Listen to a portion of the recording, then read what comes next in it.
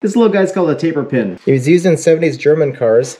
You have a wider shaft on the one side and a narrower shaft on the other side. That means that it wedges itself in. It's retained by the nut being on the small side of the cone, but if you want to take it out, you can take that nut off, put it on the large side of the cone, and it acts as its own press to pull this cone out. This is on a Saab Sonett from 1973. I've also heard they were on BMWs. Pretty neat thing. You want to make sure it's lubricated very well.